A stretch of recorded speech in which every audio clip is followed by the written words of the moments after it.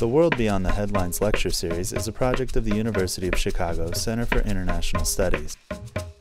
Um, welcome, everyone. Nice to have you here tonight.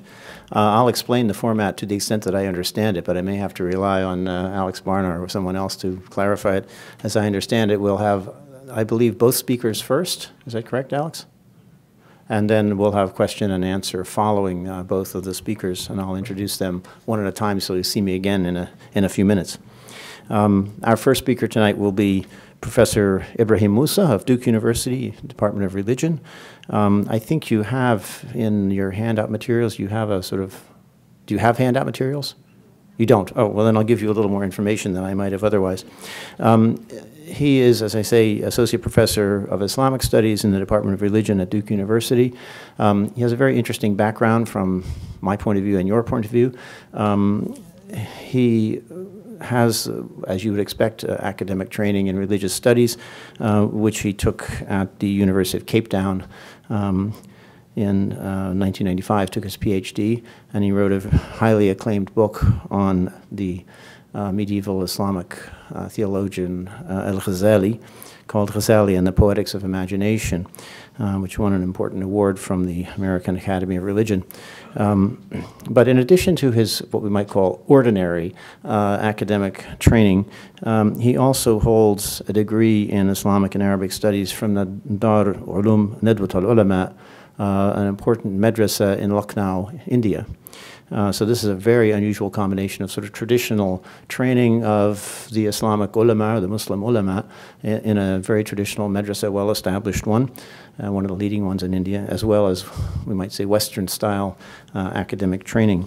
He also has a postgraduate diploma in journalism from uh, the City University of London. So he kind of combines uh, in himself and in his own training a lot of different dimensions of things that are very much of interest to us today. He's been active as a journalist, but he's also been active as um, an academician, uh, has taught at Stanford University, uh, and uh, where else? University of Cape Town in South Africa before uh, going to Duke University to teach finally. Um, and he's uh, sort of well uh, exposed as a political commentator in the press at various times. Um, He's completing another book uh, now called Muslim Self Revival Ethics, Rights, and Technology After Empire, and, and, yet another book called Between Right and Wrong Debating Muslim Ethics. And I think he's also at work on a book on the madrasa, no? Am I correct in that? So he brings a kind of rich background to our discussions today. So I'll hand the podium over to him, and uh, then after he's done, I'll come and introduce our second speaker.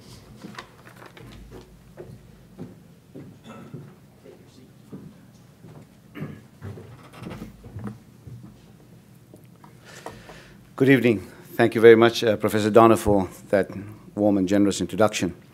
Um, on tonight's topic, I thought I will touch and talk about three issues and hopefully um, share with you uh, several um, ideas and concepts that will open up and create opportunities for discussion and debate. I will talk a little bit about the, possibly mostly on the madrasas of South Asia, and especially um, the madrasas of India and Pakistan. I'll also talk about the most recent political uprisings and my take of them in, in uh, Tunisia uh, and Egypt and Libya we cannot comment on because it's still a work in progress, but um, a lot of developments out there. And thirdly, I'll talk about um, U.S. politics and Muslims, especially in the light of last week's uh, congressional hearings. Listen, listen. This is a school. It's not a madrasa. The combative Professor Nadia Blye yells at her student minutes into David Hare's 2005 play, The Vertical Hour. We're not teaching one path. We're teaching many paths, she warns her student, Dennis Dutton. You say you admire liberal democracy? Well, basic to liberal democracy is the idea of free discussion, the free exchange of ideas comparison. When high and lowbrow artists, movie scriptwriters, journalists, and playwrights no longer feel compelled to translate a foreign word like madrasa for their English speaking readers, then you know, for better or for worse, that the ideas arrived in the imagination of the news consuming Western public. Whether distorted in the news or skewered by pundits, the term madrasa slinked into the Euro American political lexicon and was yoked to a string of scary media terms like holy war, jihad, terrorism, and Islam. Yet we need to ask are madrasas really those dangerous places that people imagine them to be? Words like madrasa and jihad are surely part of the daily vocabulary as well as experience of millions of people around the world. Human beings who are both different as well as similar to people living in the West. In fact, madrasas embody the lives and histories of people and institutions in the present who are not only connected to an ancient intellectual and scholarly tradition of Islamdom, but these people also proudly view their association with such figures and places that are linked to the madrasas as the fulfillment of their highest aspirations and their most deeply felt needs. Since 2004, I've been making frequent trips to madrasas in India and Pakistan and countries around the world where such institu institutions flourish. I wanted to check for myself how it is that these institutions have such a notorious reputation compared to the ones in which I had studied some three decades ago. What has changed? And what is going on beyond the walls of hundreds, if not thousands, of madrasas on the Indo Pakistan subcontinent? How did madrasas get linked to terrorism? David Hare's play, The Vertical Hour, effectively sets up the scenario as to what preoccupies Western audiences today. The ongoing war on terror, waged and led by America in Afghanistan and, and in Iraq, but also on multiple other fronts, particularly Yemen and Somalia, has created disagreements between governments and citizens in Europe and in America. I know many people were unhappy about some of these engagements. More than anything else, America's wars have generated feverish resentment towards the United States around the Muslim world. European opposition to the Iraq war seemed antithetical to Americans like Blye, this character in David, David Hare's uh, play, this Professor uh, uh, Nadia Blye. She's in the play a former war correspondent and ardent supporter of U.S. military intervention in global affairs. Blye, the Yale University politics professor, uh, politics uh, professor in the play, promptly justifies her political commitments by explaining that she had witnessed, quote, suffering at the ground level in places like Bosnia. And I think this question about intervention, like Bosnia, the United States intervened, again raises the question right now that is on everybody's hearts and minds, the question, do we intervene in Libya right now? And what will that intervention look like? In order to prevent future Bosnias, Nadia Blye believes, Western countries have to use, quote, their muscle to free Arabs from systematic murder, end of quote. Blye becomes a ventriloquist for the myriads of Euro American rationales offered as justification and as reasons to first invade Afghanistan in 2001 and then Iraq in 2003. If politics was about, quote, the reconciliation of the irreconcilable, unquote, as Professor Blye counseled, entrenched in systems such as capitalism, communism, liberal democracy, or industrial military interests, as well as cultivating an open mind, then her graduating student, the undergraduate Dennis Dutton, held a simpler view. For Dennis Dutton says, for me, and Dutton is an ardent libertarian and an isolationist, Dutton snaps, politics is about the protection of property and of liberty. In a telling riposte, he asks, he asks, Dutton says, why? Why would I want an open mind? Nadia says, why would you not? Dutton, our enemies don't have an open mind. The brief staged exchange captures the dilemma of the liberal West's claims and the relationships to other cultures and religions. Are the commitments to the much vaunted credos of liberal education held by the warmongering political science professor, namely dispassionately comparative and open-minded, is that not a smokescreen or a genuine attempt to understand, or is that, or is that a genuine attempt to understand the other? Is that a smokescreen or a real attempt to understand the other? Or is the crude property and liberty hugging students' tit for tat credo more genuine if his views are summarized in neocon style or Tea Party style? I do what my enemy does and don't ask me to be nice. Both perspectives depend on the outsider, the foreigner, the alien in question, those others deemed to be beyond the fold of Western culture. The student is crude in his gesture. He prefers to mimic the other, uh, uh, and therefore there is no need to cultivate an open mind, since our enemies don't aspire to such noble ends. As enemies, Dutton might have in mind Muslim terrorists who committed the atrocities of 9 11, or America's adversaries in Afghanistan, Iraq, or perhaps earlier enemies like the communists and the Vietnamese. Professor Blye, while advocating comparison, is neither innocent nor dispassionate. Her conclusions always favor her own interests, despite her mini sermon on the merits of comparison. It is she who denounces the cultural assets of another civilization as unreflective, narrow minded madrasas on the grounds of media stereotypes, not credentialed scholarly research. By which madrasas, but which madrasas was she referring to? She likely did not know that in the Arabic speaking world, every secular school is called a madrasa. She most probably had in mind the Muslim seminaries of South Asia. Yet these religious institutions are also sites where strong moral convictions and beliefs are displayed, but in their intellectual endeavors, one will find that comparison was at the heart of their enterprise. They're always compare, comparing different kinds of theologies, different kinds of laws, difference between themselves and others, and so on. Many, but not all, of the religious authorities and spiritual guides who direct the daily lives of millions of Muslims around the world are trained in madrasas or analogous institutions. Yet one knows little about the everyday existence of those who inhabit these places of learning. Informed discussions about their training, how their spiritual personas and intellectual characters are formed, even fewer know of their relationship with peers, teachers, and their extended families. And to know more about that, you'll have to wait until I publish my book. More importantly, what books do they read? Which histories and past do they connect to? What kinds of aspirations do they foster? How do they serve their constituencies and make an impact on the world? All these vital human details are cloaked by sensational and dramatic headlines of crazed mullahs and murderous Taliban who came into the public eye in 1994.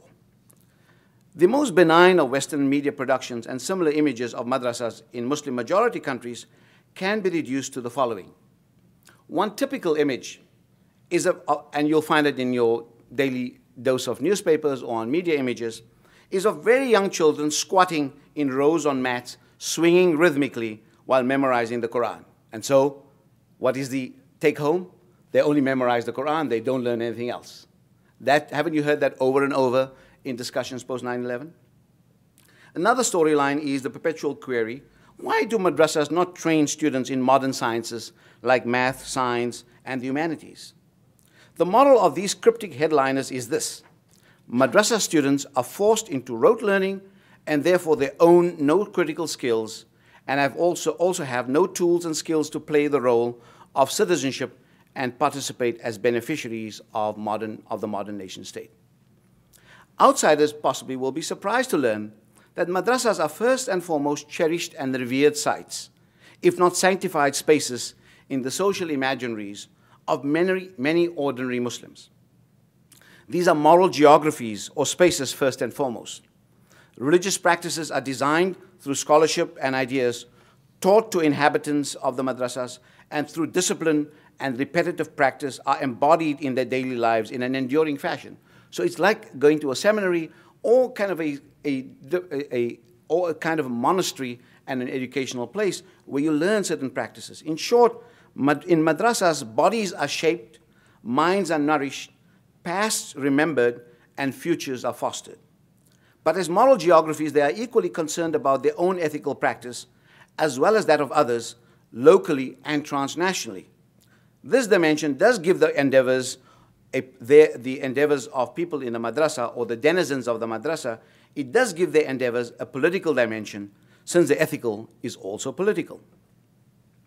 Madrasa communities are not only concerned about the correct practice of ritual, but they are equally concerned about the global moral order as well as the local political order, since these affect their lives. But they, like others, also care for the victims of tsunamis, as they do for fellow humans as well as Muslims, whether they be in apartheid torn South Africa, for Palestinians occupied and brutalized by Israeli uh, political forces, despotic regimes in the Muslim world, and they are also concerned about American and European occupation of Muslim lands.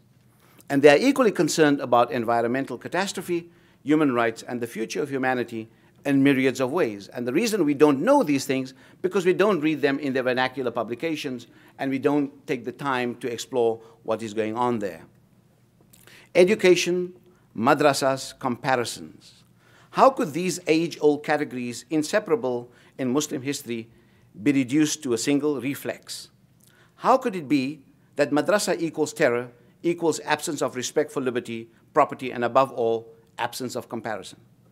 Reducing the other to the enemy is an act of the imagination, and turning them into inhumane and monochromatic, if not robotic figures, is an act of callousness. But is also a reflex of power.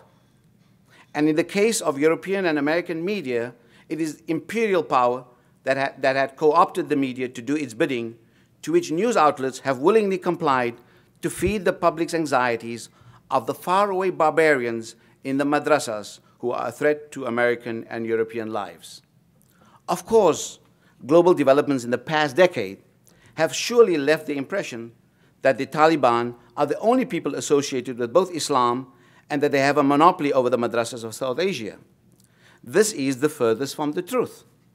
Yet, the distorted picture might have well captured the imagination of most non Muslims, even though the propaganda reflect the intentions of those who make such claims.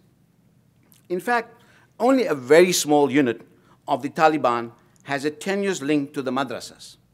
Students, called Taliban in Persian, is a term by which the former Afghan government was known and has since turned into an anti-occupation insurgency group. And I'm sure my friend Professor uh, Ahmed is, uh, Dr. Ah Mr. Ahmed is going to talk more about that.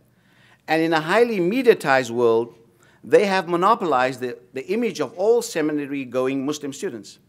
Keywords like madrasa and jihad are also shorthand for larger political narratives that occupy debates on global politics and terrorism. The shibboleth, the shibboleth that truth is the first casualty in a war, still has some cachet. Then, then if, if, if the shibboleth that truth is the first casualty in a war, then comparison is the second casualty in the mediatized wars of the 21st century. For often, comparisons are done in bad faith in order to deliver fake results, meant to serve the ends of propaganda and to mobilize cultural resources against adversaries. So why are Western policymakers, politicians, the media, and pundits at large so, so preoccupied with madrasas? During the past decade, a handful of madrasas have fall fallen into the crosshairs of a titanic battle between Euro-American military forces and their militant Muslim adversaries. Foremost among the latter are the Taliban of the failed state of Afghanistan and the international terrorist groups like Al Qaeda, led by the exiled Saudi millionaire Osama bin Laden.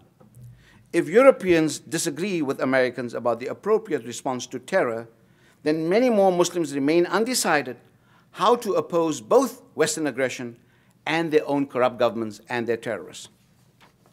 Now, madrasas, and I'm, this is my prepared statement, I just want to add a little bit more here, and that madrasas are, are places really, a place of learning where people learn tradition, ancient tradition, and where these individuals are trained to become um, lawgivers or people who give ethical guidance. But there is a crisis in the madrasas of South Asia in particular, and especially Pakistan. And that is that given the kind of fact that Pakistan has become the kind of frontline state for almost three decades now for America's wars, first against the Soviets and now against Al Qaeda and Taliban, that Pakistan is becoming cannibalized as a, as a society. And if in the previous wars against the, against the, uh, against the Soviets, Pakistan's intelligence agencies played the role and also gave refuge to Afghan uh, refugees, those refugees, those Afghan refugees, have over time established networks in which they now occupy certain madrasas, where these madrasas are basically hostels where people are basically having some food and having very basic education. These are not the kind of mainstream madrasas where the high intellectual culture is taught. In, like in places like Lahore or Karachi or Multan or other places in Pakistan or in Lucknow, Delhi, and myriads of other cities of India, or for that matter in Bangladesh. So we need to distinguish between madrasas and madrasas. There's also, in every village in India and Pakistan and Bangladesh, you're going to find a madrasa, which is basically Sunday school where kids go for two hours in the morning before they go to secular school. That's also a madrasa, but that's a different kind.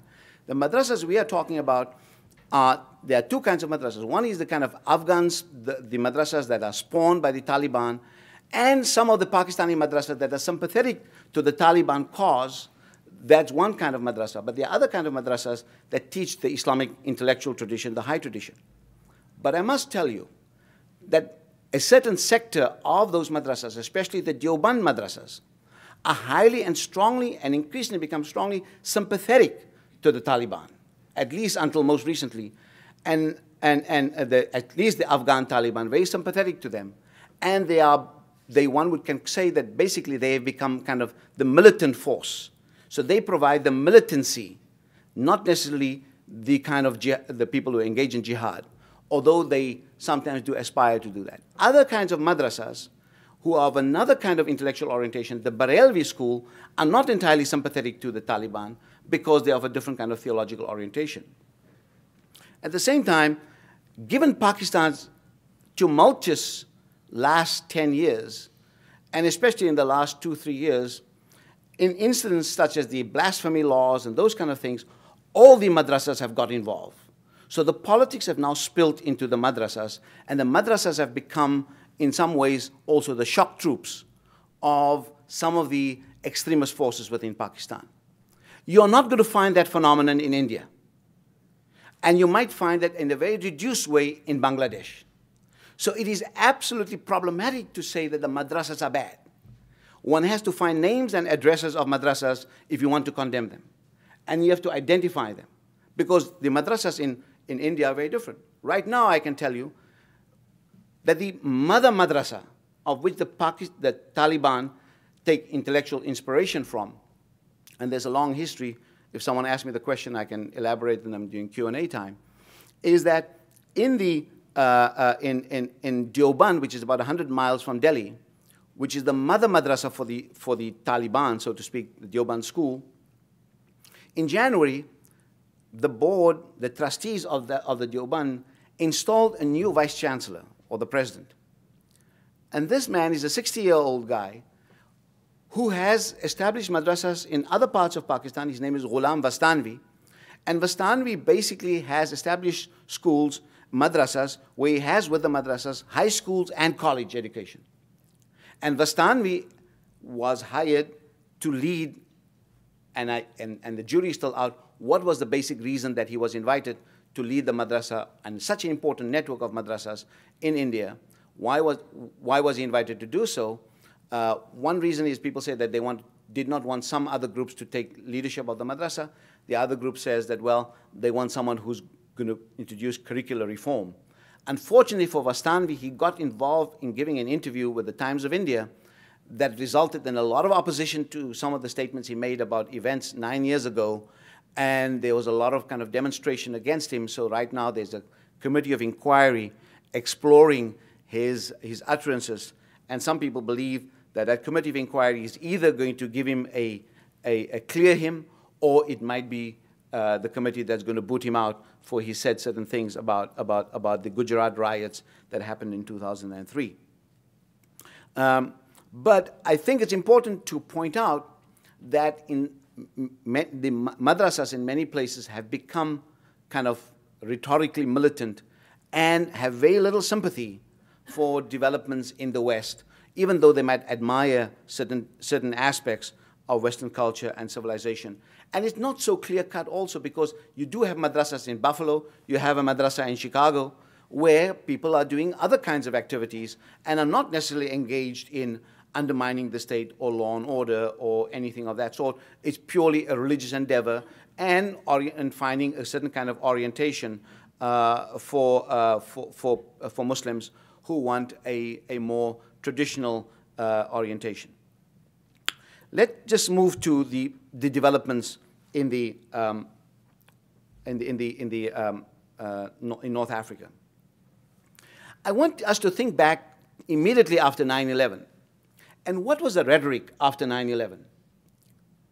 The rhetoric we had about, in very kind of monolithic and generalizing terms, was they, that is the Muslims, they hate us for our freedoms. Wasn't that the, the, the call? We, wasn't that drilled into our ears by our media and by the people we pay our taxes to, to, to do our bidding? How do we explain that? That 10 years later, these very people are dying for their freedom on the streets of Cairo, in Tunisia, in Bahrain, and in Libya. So it does say that something is wrong in our analytic. And it was wrong at that time, and it was wrong now. Muslims have been aspiring for freedoms. They went through the anti colonial struggle and then the post colonial blues and all this kind of developments. And what we do not, what we do not want to appreciate is that what, what the sane voices within our societies have been telling us that we have been keeping the bad guys on top of the necks of those people and brutalizing those people. And that brutalization produced the bin Ladens and his shock troops. Not entirely true, because partly true, because Zawahiri was, bin Laden's number two and possibly the most dangerous man in Al Qaeda, Zawahiri. He was, a, he was a physician in Cairo who was brutalized by the regime after Sadat was killed, and he vowed to take revenge. And many of those groups from Algeria and other places were part of that, and others were also going in for the romance of jihad and not necessarily uh, part of the, uh, the, the, the, the, victims of, of dictatorships. So, in the light of developments right now, we need to ask the question whether the invasion of Afghanistan and Iraq, whether they were valuable exercises in nation building. We really need to ask that question. And, and were they good models of nation building? Whereas, in fact, hopefully, Tunisians and Egyptians and other parts of the world, and everybody's now loosening up, might be building for themselves futures that might be much more enduring and futures that they own. In fact, the, the futures that we are trying to dole out with billions of dollars in Afghanistan and Iraq, we are owning it. Afghans and Iraqis are not owning it. And no Afghan uh, or Iraqi ownership. Yes, we are looking at Karzai and, and Maliki, whose fate might turn out to be worse than that of Mubarak and bin Ali. And I, I'm not sitting in front of a uh, uh, you know, crystal ball here, but it might be five or ten years before we see the back of some of those people, if not earlier. And one does not have to be a rocket scientist to figure this out. In Afghanistan, Bing West's book, The Wrong War, shows that America is on, on the way to coming away from there with very little dividends. Um, the only Afghans invested in Afghanistan are the kleptocrats and the drug lords and the warlords. They are making a roaring trade, but they are also, they are also mobile with getaways in Dubai and parts of Pakistan. So what we have really have here in some of these developments and, and our understanding of politics of the Middle East up to, up to this point, especially after 9-11, was always that of polarized perception of, of, of, of, our perceptions of global politics as us versus them. And we are frequently told that we live in a flat world, a world where borders have become redundant we really need to ask now, in a world in which borders have become redundant, the free flow of goods and ideas and, and concepts and so on, whether we still can maintain a policy of hegemony and a policy where we want to argue that what, how does the foreign, our foreign policy serve our interests. I think one will, we will have to begin thinking about foreign policy options in which we think about co global coexistence rather than uh, of domination and hegemony. Um, in fact, the developments in, the, uh, in, the, uh, in, the, in North Africa is something that caught everybody by surprise. On the 14th of January of this year, I was in Al Ghat, which is about 250 kilometers outside of Riyadh in Saudi Arabia. I was invited by a foundation called the Sudairi Foundation uh, for a one day workshop. So on the 14th of of January, which is a Friday, we had a long breakfast uh, with several distinguished people from the Saudi elite establishment uh, and establishment people there, including, including uh, Prince uh, Turki Al Faisal. Turki Al Faisal, as you would know, was the former ambassador to London and also very short, uh, for a short term, to Washington. And prior to that, he was the head of Saudi national intelligence. Turki Al Faisal as we were sitting there for about three hours, we were talking about the region, security issues in the region. When I left the United States Tunisia was in protest. But even I, who keep a good eye on the media, even I didn't think that anything significant is going to develop out of those protests, I must confess. I've seen so many bread riots in Tunisia, so many bread riots in Algeria. Tunisians and Algerians uh, have always been rioting as long as I remember, and nothing comes of it, right? So I was not aware of developments. Plus, that's not even my area of specialty. Uh, so I don't look at it that carefully. So we're sitting there at Al Ghad over breakfast for three hours. We're talking about a whole range of issues. The first major preoccupation around the breakfast table was the Iranian nuclear possibility. The Arabs are scared of the, of the Iranians. A lot of discussion about that. Then also about Hezbollah, who has moved into a hegemonic position in dictating the politics of Lebanon. More scary because you can understand the narrative now. It's what Arabs are concerned about the Shiite crescent, right? Then was talking about other kinds of issues, not a peep about Tunisia. It was not even on the radar. By the time we get to the airport Saturday morning, we are surprised to watch on the, on, on the television screens that Ben Ali is on his way to Saudi Arabia. In other words, these developments have even these regimes who have the most advanced mukhabarat, intelligence services, and very brutal, even they were caught unawares, or unless Turki al Faisal and other people around the table were just very poorly informed, like the times that we were also poorly informed. So I think that some of these issues are, are, are very vital to understand that these have been boiling for some time and surprised the people in the region as well as surprised the world. But I think there's a passion and a determination to take leadership into their own hands, to own their own societies, and something that we have unable to get our heads around that as, as Americans and trying to understand developments elsewhere. So we, even our academic studies of those societies are kind of a, a patrimonial and a paternalistic understanding of what can they do, what will we allow them to do in terms of our interests. And I think that's problematic and flawed in our, in our examination.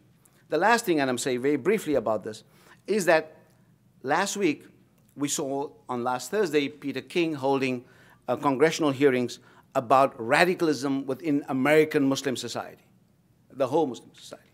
So we've already seen since the uh, attempt to build the, the proposal for the mosque uh, near Ground Zero um, uh, uh, last summer, and we saw a great deal of anger against Islam and Muslims for building the mosque, right? Um, there were ideas that were circulated that the only thing that Muslims, why they should not have the mosque, because Muslims like to build a victory mosque. After they've done some kind of inflicted some damage, they want to build a victory mosque. So this is the victory mosque, should not allow them to have it. That is what Pam Geller was saying, right? And that's what Fox was telling you. And even spilled onto other, onto other kind of media channels. Thank God that we had a sane mayor in, in New York in the form of uh, uh, Michael Bloomberg that stood out and stood up for principle. But also, what we also heard that Islam is not a religion. Islam is not, it's an ideology that wants to take over America and replace the Constitution with the Sharia. That is the narrative. And that narrative is the prepackaged narrative of which things are just to be built in. Therefore, you've seen what's been happening to attempts to build mosque or altar mosque in Murfreesboro, Tennessee, or the, uh, in Oklahoma, they've taken resolutions that nothing concerning the Sharia would be permissible uh, in any form of, in any court or legislation in Oklahoma. Well, I must say that it seems that Oklahoma is insisting in isolating itself because there are Muslims there. They're going to go to the courts with their Sharia agreements that they have, and the courts will have to address it. I don't know how they're going to address it, but they've just put themselves into a, a very difficult position. The question here is that some of these have baked ideas about Islam have been put into circulation post 9 11 in the spirit of know your enemy. And this has been happening underground. There's not much visibility, but this has been happening on the internet, on the blogosphere, in very, very interesting ways. And especially extreme versions of evangelical Christians have been doing this kind of work. So say, we need to know you, you need to know your enemies, so when you meet Muslims, you can give them this half-back, half-baked information. I don't know how many of you have seen a video called the, uh, the Muslim, um, Muslim demographics. It's on YouTube. When I looked at it two years ago, that thing had about 60 or 70,000 hits. Right now, it's over 2 million hits. The Muslim demographic is a scary video. You look at that and you see that they show by year 2025, Europe will be Islamic. France is going to go first, then Germany, then Britain. And America, by the year 2050, America is going to be all Muslim. So that really, and that has gone, that has gone viral, so to speak, and really is working on people's anxieties. And therefore, people are not even talking back, but people are just going silent because there is some truth about all this danger about Islam. There is some truth. So even moderates would keep quiet because they don't even know how to respond or they have believed some of these things. The other thing is that, that the, the narrative that is being put out there is very powerful of the, by the types of a woman by the name of Bridget, Gil, uh, uh Bridget, uh, um, Gil, uh, Bridget from Lebanon or Ayaan Hirsi Ali, uh, a woman does not even claim to be a Muslim, but she has become an expert on Islam without any qualification. Um, I mean, it'd be surprising that one would find, a, say, on a US TV channel, someone like, say, David Irving being invited, who's a Holocaust denier, to talk about Judaism. It will not be possible. But it's perfectly okay to bring Ayaan Hirsi Ali, an Islam denier, to come talk about Islam. That is perfectly possible. Um, and while we have an immense amount of talent in the United States to talk about these things, I always say that the United States, in terms of a country in the West, we possibly have the best literary resources on Islam if you take just three universities, University of Chicago, Princeton, and Harvard's libraries. And we have te technical expertise about Islam and different Muslim societies to, to very, very high level uh, uh, of perfection and, and, and qualification. But all that knowledge is locked up and never used by the larger public or is never, never, never filters down into policy making. I think I will stop right there because there will be opportunity to say th further things. But just one more thing I will say, and that is that having said all this, there's also a serious problem within many, many Muslim societies that complicates the story and the inability of Muslims finding some kind of imagination for Islamic reform. How to deal with Islam as a religious tradition and its encounters with the modern world. That is a issue that Muslims have been battling with for the last 200 years and more intensely in the last, in the last, in the last century. In places like Pakistan, what you see more, we don't see some of those efforts in order to deal with the real life issues of the questions of Muslim societies, on questions of theology and Islamic law, and hence we only see the pathologies of that society manifesting itself.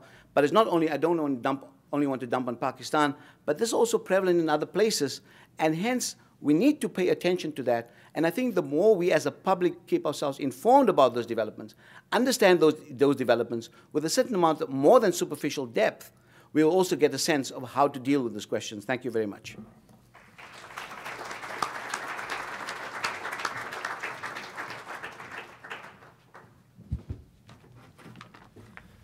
Thank you, Ebrahim. You've given us a lot to think about, and I'm sure there'll be many questions for you um, in a little bit. But first, uh, it's my pleasure to introduce our second distinguished speaker, uh, Ahmed Rashid.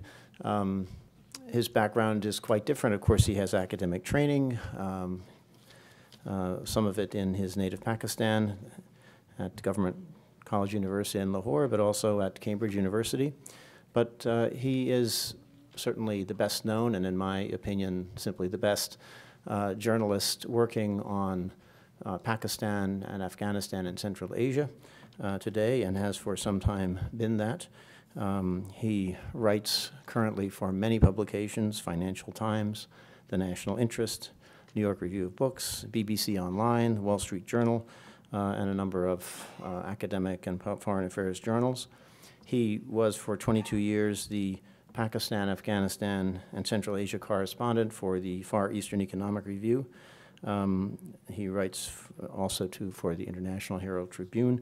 He lectures very widely, including in Chicago, we're happy to say, um, and was the first journalist to address the UN General Assembly in New York and the first journalist to address NATO ambassadors in Brussels. So he has a very distinguished uh, record in that respect.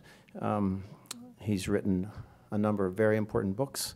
Um, uh, a wonderful one which I read quite a few years ago called Taliban, which I recommend very highly. Uh, he has written one called Jihad, The Rise of Militant Islam in Central Asia. Um, and he has another one called Descent into Chaos, U.S. Policy and the Failure of Nation Building in Pakistan, Afghanistan, and Central Asia. Um, he has uh, decades of experience, unrivaled experience in this part of the world knows the issues, I would say, inside out, knows all of the and has interviewed, I think, probably all of the key players in the region, I think including Osama bin Laden, although not very recently. I think that was uh, maybe 25 years ago. Um, but uh, he has just uh, an incredible um, familiarity and awareness of the region and an ability to analyze it also in his writings, which is really quite remarkable. So uh, we're glad to welcome him today. And uh, would you like to speak from there or from here? From here, okay.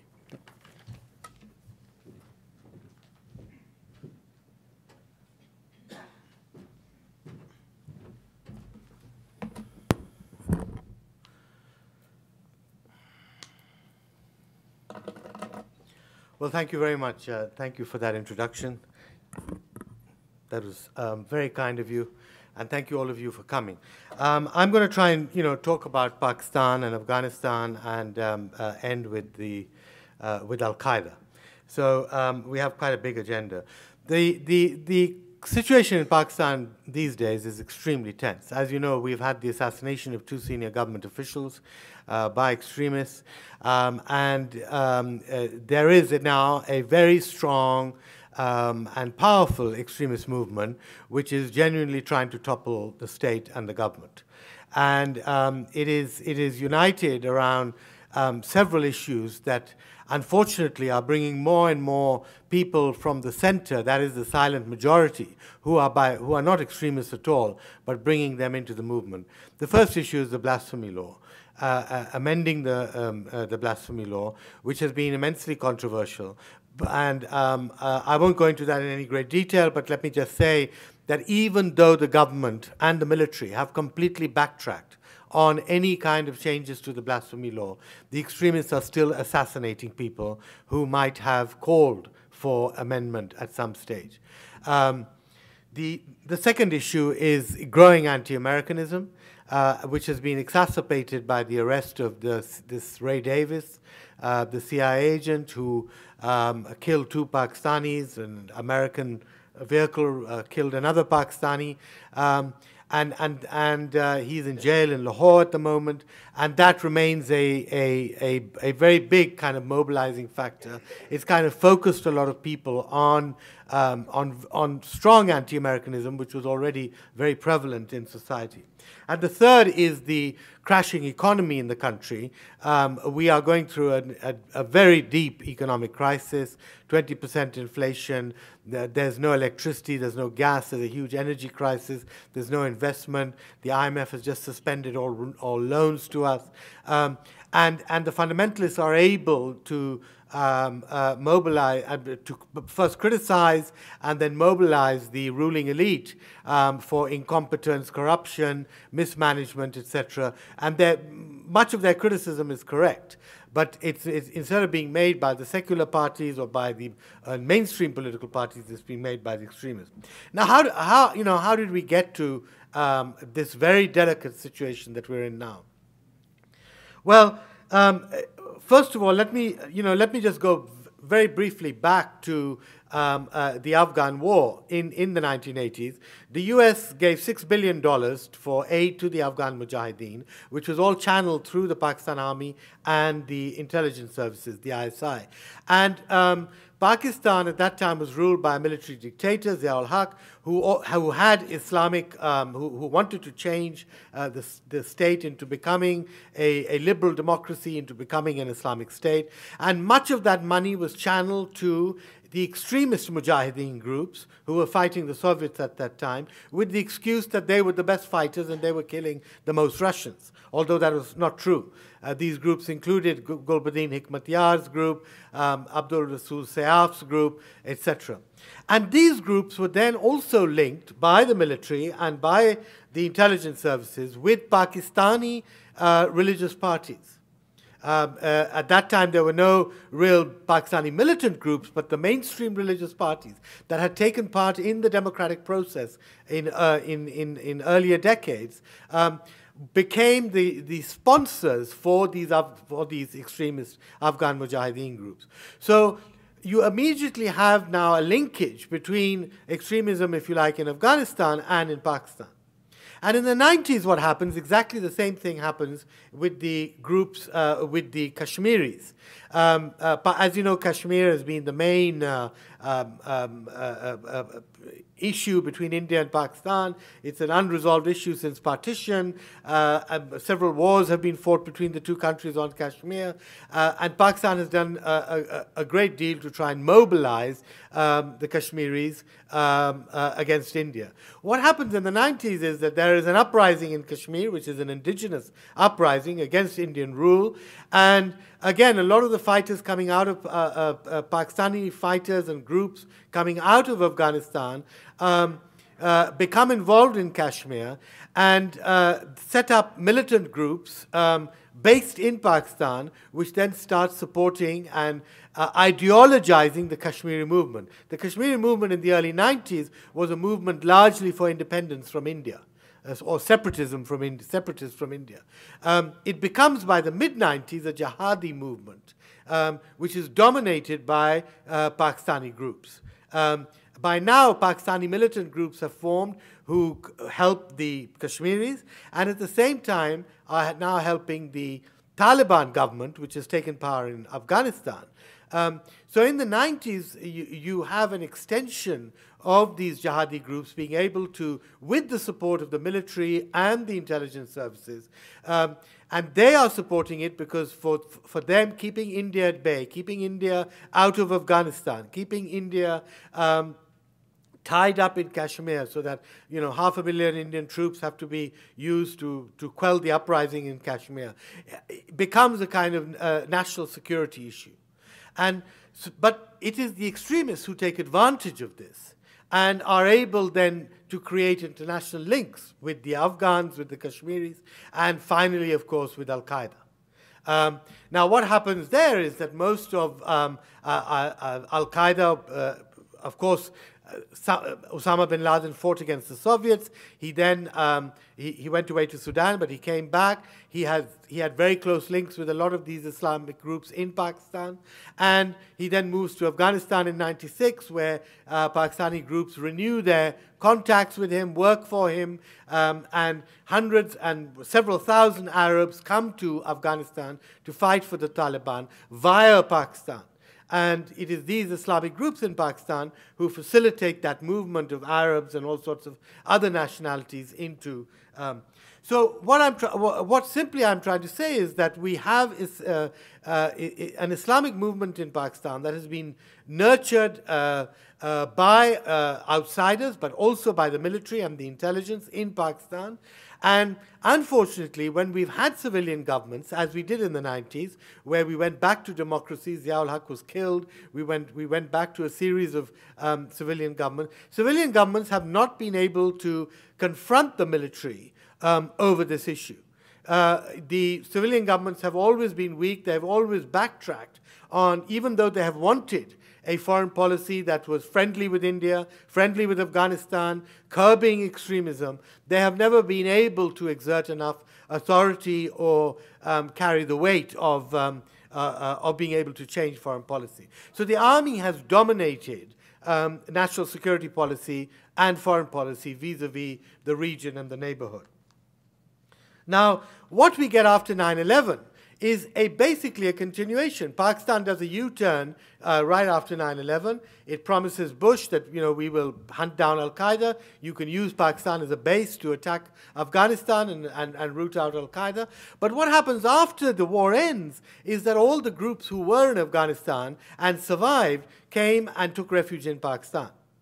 And by then, the groups included not just Al Qaeda, they included the, the entire Afghan Taliban leadership.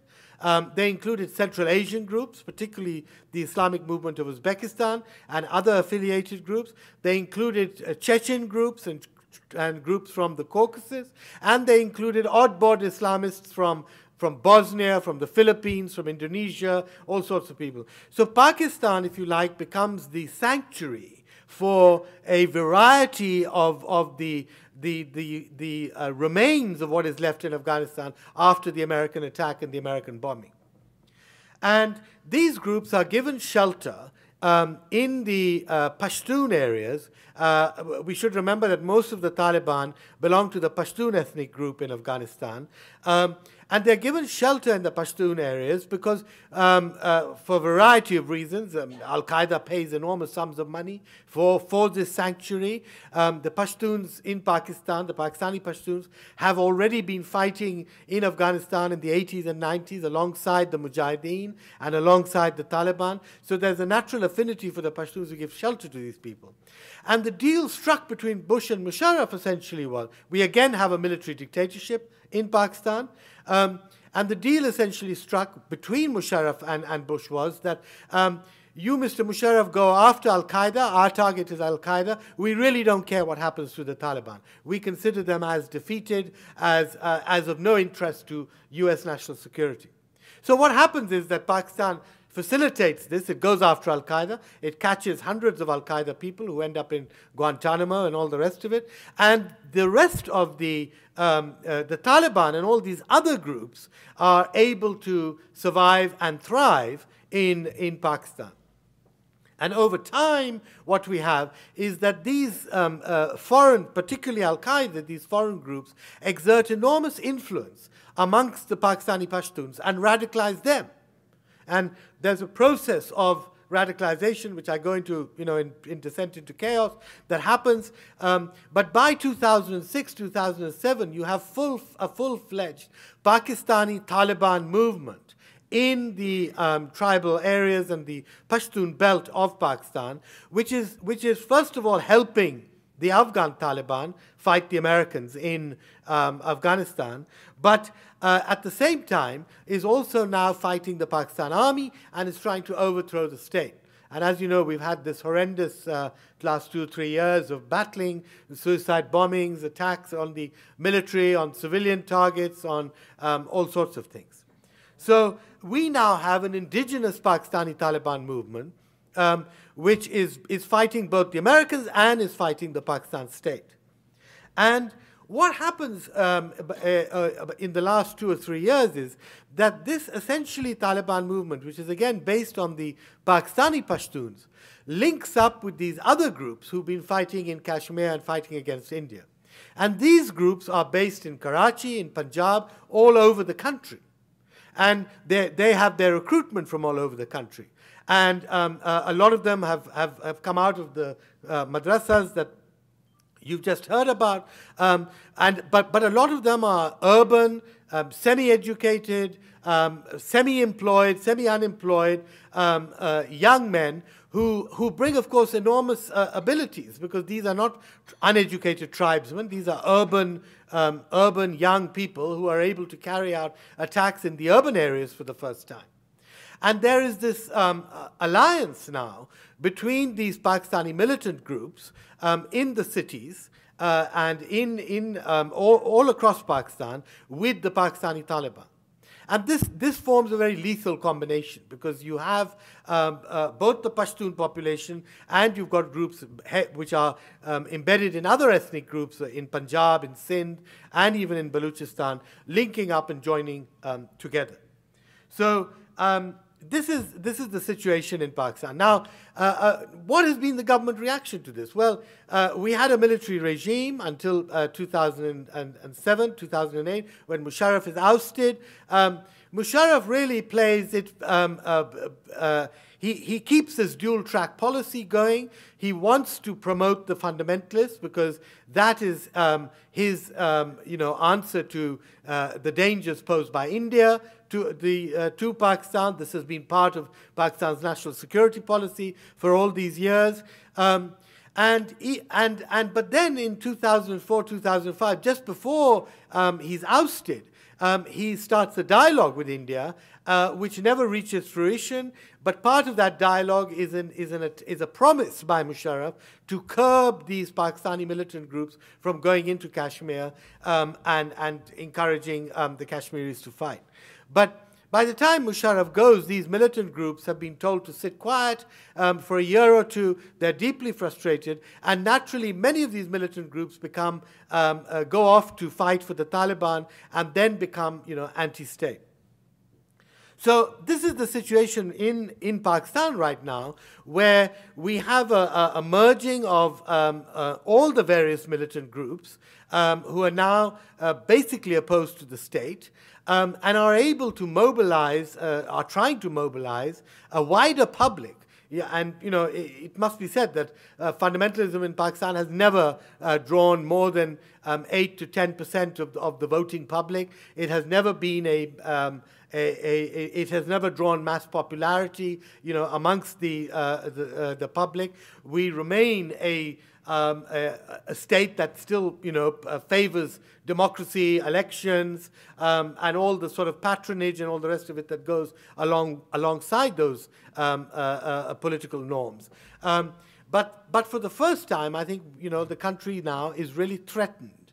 Um, and the problem is that both the government and the army are feeling extremely nervous and are not willing to stand up to this threat um, not just on the blasphemy issue, but frankly on, on, on other issues, um, especially the territorial space that now uh, these fundamentalist groups are occupying. Uh, in the northwest of the country and in other parts of the country, um, these fundamentalists are, are managing to um, uh, uh, undermine the state, undermine the police, the bureaucracy, the administration, um, undermine the economy, of course, because who's going to invest in a, in a, in a, in a situation um, like this. So um, we are now in a, what I would call in a very dire uh, situation. Um, and uh, it, it, it, is not being helped by uh, what is happening in Afghanistan. Now, in, in Afghanistan, simply, um, I, am not going to go into the, into the whole history, and I don't have time for that, but, but, but let me briefly say um, I think, you know, you, the Americans have been in Afghanistan now for 10, nearly 11 years. And um, the promises that were made by Bush and by the Western Alliance to rebuild the country after 30 years of war, um, to create a minimal, and I will use the word minimal, Afghan state, so that it could function as a country, as it did function in the 70s. Afghanistan, contrary to all this belief that Afghanistan never had a state, it was never centralized, um, it did have a government and state, it was a monarchy, and it had a minimal economy and a minimal state um, uh, uh, authority, which did keep the peace for something like uh, 70 years. And um, uh, this is before the Soviet invasion. And frankly, in the last 10 years, um, uh, the, the, with the American and NATO um, uh, presence and occupation, if you like, in Afghanistan, it has not even been able to replicate the Afghan state as it existed in the 70s. We still don't even have a basic Afghan economy, an indigenous Afghan economy, which, which could be at least as much as the economy was in the 70s. And you can imagine what the economy was in the 70s. It was a minimalist economy. The Afghans didn't starve to death. They, they grew enough food for themselves and they exported a tiny amount which supplied enough income for them to run, to, to, to, um, uh, to make the state function. But we've not e even been. So the lack of rebuilding that has happened in Afghanistan um, uh, has unfortunately been tragic.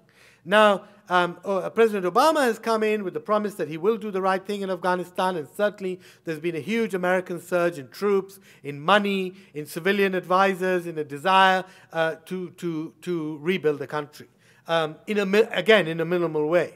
Um, and now, as you know, with, with, uh, with 150,000 American and NATO troops there, um, they are, uh, they've announced that they are going to start a, uh, a gradual withdrawal and what is being called a transition uh, towards full Afghan control by 20, uh, 2014. Now, frankly, um, um, I'm extremely skeptical about this because uh, in the midst of, and, and, and in the meantime, what has happened is, of course, that the Taliban were rejuvenated in 2003. They relaunched their offensive. This was partly done as a result with, with help from some of these militant groups who were living in Pakistan, with the help of the Pakistani Taliban, with the help of Al Qaeda. But it was also done um, with the help of the Pakistani uh, military and the Pakistani intelligence services. Now, their bone of contention with the Americans was several. They thought that the government in Kabul was anti Pakistan. They thought the Indians um, had come in too strongly into Afghanistan and they were against that. So there was clandestine support by Musharraf for a Taliban um, revival. And of course, we, know, we now know that this Taliban revival started in um, a couple of provinces in the south, the Taliban heartland, and has now basically spread to the entire country. And the problem now for the Americans is how do you transition in the midst of a civil war and, a, and an insurgency? You cannot lay the foundations, even with all the best of intentions that this um, uh, Obama administration has. You cannot lay the foundations for a bureaucracy, a justice system, a, a minimal, uh, a, a, decent army, police, etc., um, in the midst of a civil war. And that's why I think it has become now essential that if the Americans are to withdraw in good order and leave something functioning behind, there has to be a dialogue with the Taliban. The Taliban have already expressed a desire to talk to the Americans. Um, and there is some kind of dialogue going on, as you may have read about. But what is needed is a, um, I think, a, a, a, different direction for the United States um, to have a dialogue with the Taliban, a reduction of the violence, a reduction, um, you know, in, in the insurgency, so that some of these governmental institutions can be built. Now, there are enormous amount of other problems, which I won't go into. The corruption of the Karzai government, the incompetence of the Karzai government. Um, but that goes two ways. I think it goes, you know, um, yes, um, uh, Afghanistan is being is still dominated by warlords and drug lords and all the rest of it. But part of that is because the Americans allowed that to happen after 9/11, because of the focus on Iraq, because there was no investment in Afghanistan. So the first thing is that you know I think. Uh, um, uh, we need to talk to the Taliban and we need to take that forward and we need to use these three years in a more productive fashion. Um, the Taliban cannot be beaten. There is no military victory um, uh, in sight. Um, uh, because as and and and there is no um, uh, uh, ability of the Americans, it seems, to be able to deal with this issue of the sanctuary um, in Pakistan that the Taliban have. And as long as they have that sanctuary with this vast reservoir of Pakistani Pashtuns and Pakistani militants who are willing to fight in Afghanistan, um, this war is not winnable in a, in a military sense um, of the word. Now, the other part of this is, of course, the conundrum in Afghanistan is that Afghanistan is a landlocked nation with seven neighbors. And in the 90s, all of these neighbors fueled the civil war in Afghanistan. The Pakistanis backed the Taliban along with the Saudis. Um, Russia, India, Iran backed uh, what was then called the Northern Alliance, the non Pashtuns, that is the Tajiks, Uzbeks, uh, Turkomans, Hazaras, and other ethnic groups. And the fear is that there is already a lot of regional competition and tension, which the Bush administration did very little to tame. And what is happening now is that you have, as this, as this drawdown be begins, all the neighbors are again galvanizing to, to have their influence and say in Afghanistan. Pakistan of is clandestinely wanting a, a, a, a, uh, a Taliban government or a Taliban sharing of power with Karzai in Kabul. Iran and India and Russia and the Central Asian states are dead against it and will sabotage it or will resist it. So, what the Americans also need is a major diplomatic effort to try and bring the region together, which is a very tall order right now because you have enormous tensions between India and Pakistan, between Pakistan and Iran. Nobody talks to Iran anyway because of you know the other issues that, that underlie U.S. relations with Iran. So, um, but nevertheless, I think that um, a, a, a more reasonable settlement of Afghanistan needs a dialogue with the Taliban, needs rebuilding of the Afghan state, and needs for, and, and, and, and needs for the Taliban to be bought into some kind of power sharing agreement. Now, I think the Taliban themselves, the Afghan Taliban, are moving, ha, have moved from a position of seeking support from Al Qaeda, being you know, um, very sympathetic to Al Qaeda, to becoming much more nationalistic. The Afghan Taliban have never supported global jihad. None of the training that you know has happened for some, you know, the bomber of Times Square or uh, uh, the, the, the, bombers in, in, in London or in, in parts of Europe that have, that have happened, all of that training has really been carried out largely by, in Pakistan by the Pakistani Taliban. The Afghan Taliban have not been part of any kind of global jihad or the laying of bombs in Europe or America or, or, or anyone else or anywhere else. And I think, you know, they are in a more um, uh, uh, uh, uh They see themselves more as nationalists. They are jihadists. They are fighting what they see as a foreign occupation of their country as they fought the Soviet Union. Um, but at the same time, they're not interested in spreading their revolution um, um, outside uh, the borders. Now, let me just briefly end um, with, with, um, al, uh, with Al Qaeda. The tragedy of all this neglect in Afghanistan and Pakistan by, uh, by the Bush administration um, and, and the, the uh, refusal to talk to um, some of these Islamic groups who may be amenable to dialogue, like the Afghan Taliban today, in my opinion, has led to, contrary to what most people are, are telling, especially American pundits on Al Qaeda saying that Al Qaeda is finished, it's, it's all over. Um, in my opinion, Al Qaeda has actually spread far more since 9 11 than it ever had in, in, uh, before 9 11. Al Qaeda today has, cells, has cells in every European country. You've seen Al Qaeda attacks in places that you could never even dream of, like Sweden and Denmark. And um, of course, there's, a, there's a, a, a still a very big Al Qaeda presence in Britain, in Germany. The French are worried, the Italians are worried. Uh, a very big Al Qaeda cell was uh, made up of Arabs and Pakistanis was busted in Barcelona um, last year. So you have, but Al Qaeda is not the same thing it was before 9 11. It is no longer an orga- a single organization. And Al Qaeda uh, uh, has been defined in many different ways. It's an idea, it's an ideology, it's a, it's a website, um, it's, a, uh, it's an organization, um, it's, it's, it's, uh, it's a franchise. You can become a member of Al Qaeda by, you know, as, as Zarqawi did in Iraq. You know, he said, I want to rename my group. You know, I'm fighting the Americans. I want to rename my group as the Al Qaeda in Iraq and, and he was given permission to do so, even though bin Laden and Zawahiri had nothing to do with what was going on, or very little to do with what was going on in Iraq. So Al Qaeda has, you know, I, I cannot, I cannot uh, define Al Qaeda with one single definition, but I would agree with all these definitions. It is all these things and, and possibly more, even. So it is not something that is going to go away um, uh, in, uh, in a hurry.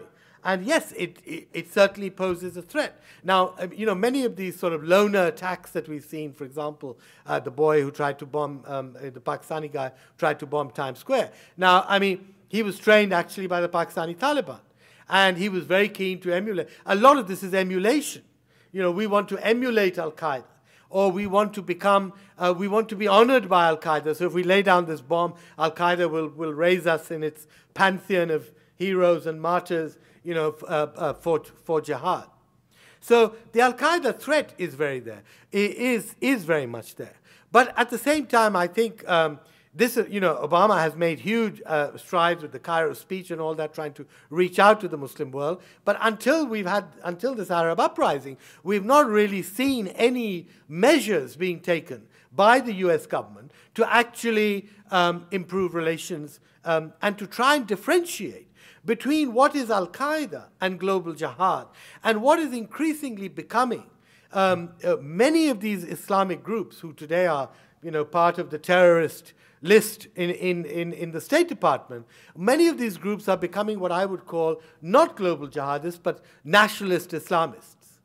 And, and, and, and this is a phenomenon that we are going to have to live with, and we are going to have to accept as, as, as being part of the political framework in many of these countries. Now, um, Hamas, for example, the Palestinian Hamas is condemned as a, as a terrorist group by the US. Uh, but millions of Palestinians don't. And until there's going to be a resolution of, of, of redefining Hamas, you're not going to get any kind of Israeli Palestinian settlement. You're not even going to get unity within the Palestinians. So, um, uh, yes, Hezbollah is part of a big power play by Iran in the Middle East, and that is this tension that you know Ebrahim talked about between the Arabs and Iran. Um, but at the same time, Hezbollah sees itself as a um, uh, as the you know the uh, opposition to Israel, but also as a nationalist um, Lebanese party, which is justified in, in wanting to increase its influence um, in Lebanon. So I think you know we, we have to evolve a, a um, uh, the United States and NATO and Europe has to evolve a strategy in coming years where the real Al Qaeda, the real terrorists, the real people who want to target civilians anywhere in the world and want to kill um, uh, Muslims and non Muslims uh, for, this, for this very vague concept of global jihad. Those have to be isolated. And, and groups who do want to come into the, um, uh, into the mainstream, I think there has to be a much more nuanced policy um, towards them.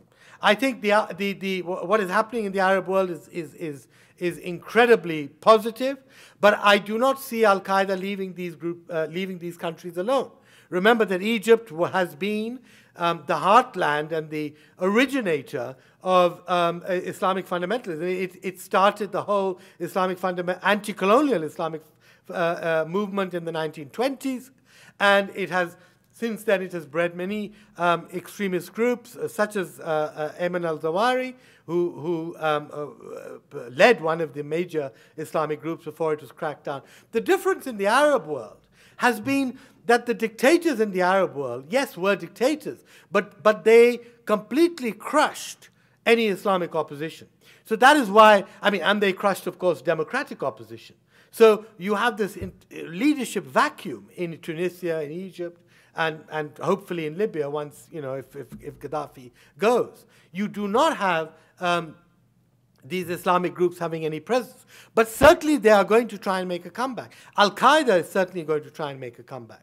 And I fear very much that Al Qaeda is going to use issues, for example, um, uh, the tensions between the Copts and uh, the Muslims in Egypt. It's going to use uh, uh Shia Sunni tensions in other Arab countries as, as, as a wedge to try and make their way um, back in. But I think, you know, um, uh, I'm, I'm, I'm certain that, you know, Egypt, the Egyptians have shown such incredible maturity in this movement um, that they're going to continue on the path towards democracy and towards um, uh, stabilizing their country. But certainly, you know, Al Qaeda is not going to um, uh, give up there. So I'm, I'm, it, it becomes even more, with this Arab uprising, it becomes even more important that the US adopts a far more nuanced understanding of what is happening in the Muslim world rather than this blanket that we've had of that, you know, uh, uh, everybody's a terrorist and um, everybody's anti Western and everybody's supporting global jihad. Thank you very much.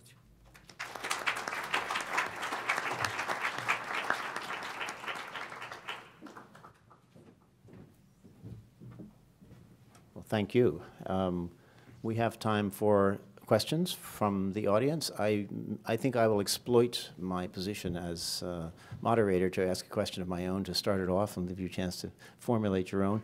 And I'd actually like to pose this to both of our speakers, but focus it particularly on Pakistan, which uh, Mr. Rashid um, uh, alerted us to the really dangerous situation in Pakistan today.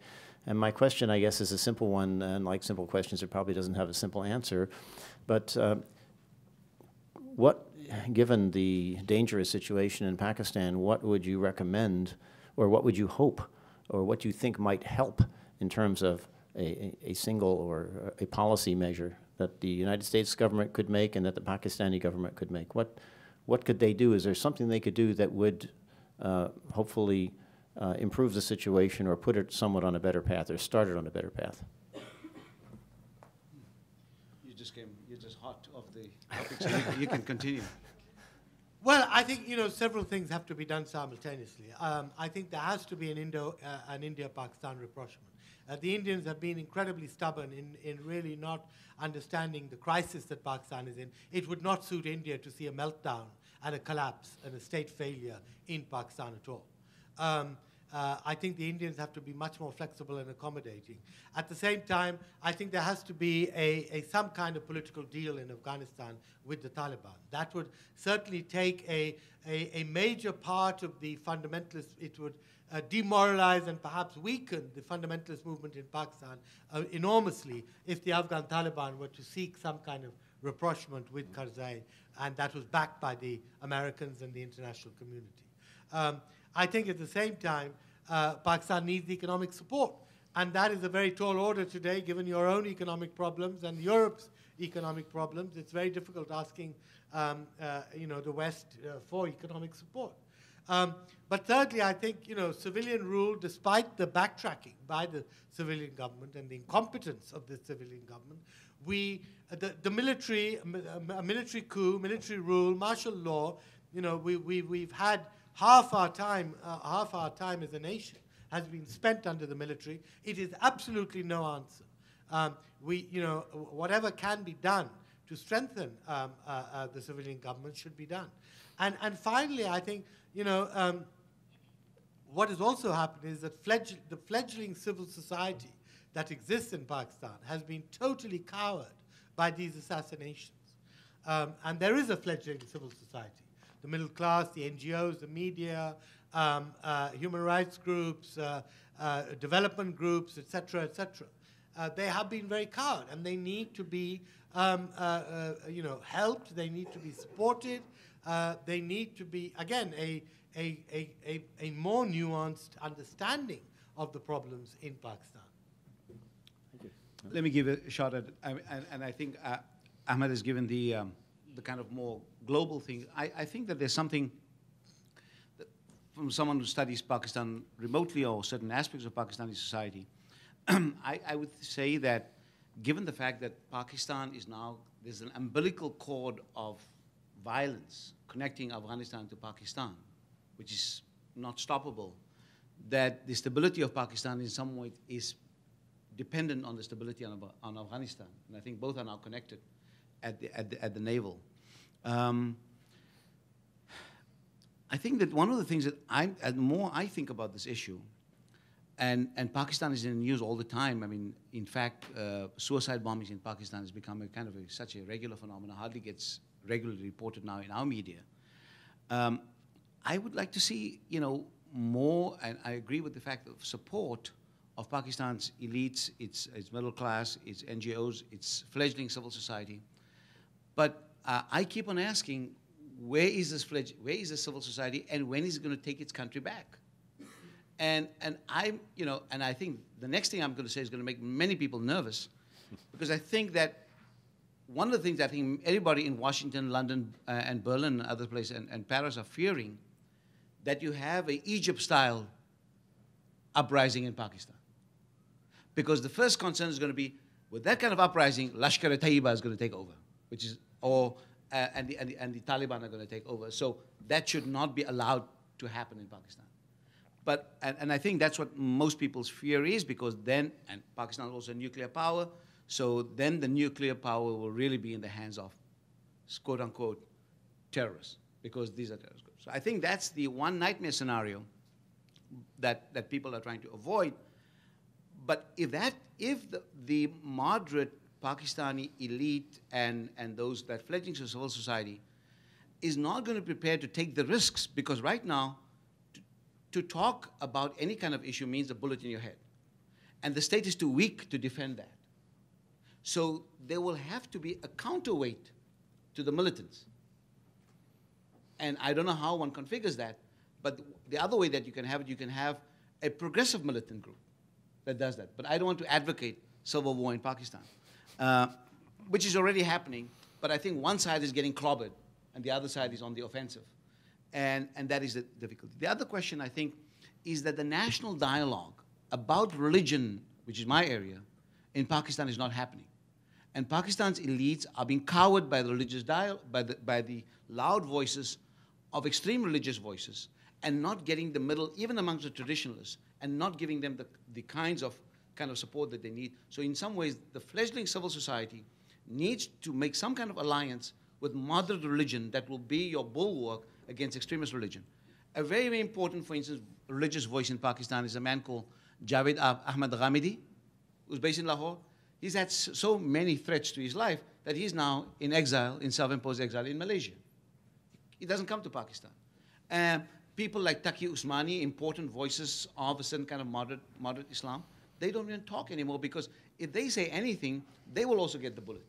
So I think Pakistan is in a really catch-22 situation, but I think it's not. The last thing I would say is that at the, at the level of the blogosphere, in the digital sphere, there's a certain kind of chatter going on that not too many people are paying attention to that. And that is that I've seen it, and I think uh, Senator Kerry has picked up on it, that this whole question of, and given the kind of confusing nature of Pakistan's intelligence agency and the army and the intelligence agency sympathies for a certain kind of radical Islam, that creates a situation that the, the, the kind of situation in which Davis is right now, and Davis being attacked by two people on a motorcycle, as, as, as the Americans claim, and then he shot those two people and so on. Right now, in the blogosphere and elsewhere, and in protests in Pakistan, there's a linkage made that Davis's release is contingent on Aafia Siddiqui, who was a woman who, who lived in America, who was then uh, um, uh, went to Pakistan, was hijacked in, uh, by, kidnapped by Pakistan intelligence in Pakistan, taken to Afghanistan, spent five years in a, in a, in a dark hole, and released on the streets of Ghazni, and then rearrested and the charge that she tried to shoot an American serviceman, brought uh, wounded to America, was tried here and given a long sentence. So there's this kind of linkage going on, and I think people they have expressed that kind of question that the only way that you're going to get Davis is if there's the release of Aafia Siddiqui. So there's a whole web of activities going on that uh, is difficult to fathom, but that is the ground reality in Pakistan. I think the religious discourse and getting serious religious uh, discourse into the, in, in, into the equation will take Pakistan in some way, but not depending too much on that also because there are other issues that are involved, but I think it will help in lowering the, the temperature. Thank you very much. We have microphones uh, on the side. Uh, people will bring them to you if you have a question, so please, questions? Yes, sir. Well, I had to, uh, this is a question directed more towards um, Mr. Um, Rashid, but be happy if the other uh, professor would join in too. I had the pleasure of learning some things in one of his books, um, Central uh, Jihad, not Jihad, um, Jihad, that uh, a lot of facts that weren't really um, accessible in the newspapers, and I think some of these facts a lot of Americans didn't know. Uh, for example, uh, Mr. Musharraf said in June of 2001 that he saw no point in supporting the non-Pashtun interests in Afghanistan because they were, they were irrelevant to Pakistan's interests in Afghanistan, that he would stand behind the Taliban. And that struck me because, well, for physical reasons, it was three months before September 11th. And so, um, right after September 11th, you said in your book, as well as today, that Pakistan did a U-turn and promised that they would pursue the Taliban and support the United States against extreme terrorism. And so this, for, with this foundation, um, you, why is it that we went along so much thinking that Pakistan was going to cooperate with us when you gave so many vivid examples that they, they might have co cooperated with us in some ways, in other ways they haven't. And so now we've reached this threshold here where um, uh, they, they haven't, these extremities have not been um, reduced or cut off. They're, they're still thriving. So what I'd like to ask you with this background that I gave, what do you think about the continued policy of sending the Predator missiles over the border to Pakistan? And what, how is that really contributing to um, inciting more extremism, including this fellow in New York who claimed that, he said that's one reason why he did what he did, because he, they, they don't like the Predator missiles. Um, and even I've read that civilians don't, I mean, ordinary Pakistanis don't like it because their sovereignty has been violated. And so, I mean, what can, how dangerous is this towards another threat of, of some kind of uh, attack? And why isn't it, why do you think that our government, Peter King's holding these, these sessions, and he wants to find out why Muslims in America are, are, are, are, are developing, why, why isn't he asking, why, why aren't we asking why some of our own citizens, why are they turning? You know, instead of blaming, but if we're going to blame Muslims, well, there it is. The missiles in Pakistan is getting people very ex excited and enraged. And so maybe you could talk to that. Because why is it that the government has not failed to see some of these connections? And our own people, we're not seeing this. Thank you. It's pretty complicated, convoluted, but. Uh, um, let me just say on this, uh, the, on the first issue, on the Pashtun factor. Well, I think you know the, the major issue after 9/11 was that uh, President Bush was not interested in Afghanistan. You know, um, uh, within about nine months uh, after the defeat of the Taliban, uh, uh, the Americans were planning for Iraq, and all the, the the resources and forces and troops and money and, and political support, etc., that should have gone into Afghanistan never went. So, I mean, you know, for the first four or five years in Afghanistan, the very, very little was done. There were less than 20,000 American troops um, in Afghanistan. And that, of course, gave the, um, uh, uh, the excuse for the Pakistanis to say, well, the Americans are going to leave. They're not serious about Afghanistan. They're going to leave us holding the cake. So we better support the Taliban because at least the Taliban are pro Pakistan. They're anti Indian. Um, and, and so, um, uh, uh, and anyway, in a few years, the Americans and, uh, uh will leave. So uh, that is why the military continued supporting uh, the Pashtun element, in other words, the Taliban, um, after 2001. Now, um, the other part of your question on the drones, it's, yes, it is a hugely controversial issue. There is, a, um, there is enormous anger, um, but all the evidence coming out now, and there were certainly very serious civilian casualties um, carried out by the drones when they, when they started. Um, now it seems the drones are being much better targeted, and the, the latest figures, which were announced, in fact, two days ago by a Pakistani general, show a huge, a much, uh, uh, uh, um, a much greater reduction in civilian casualties.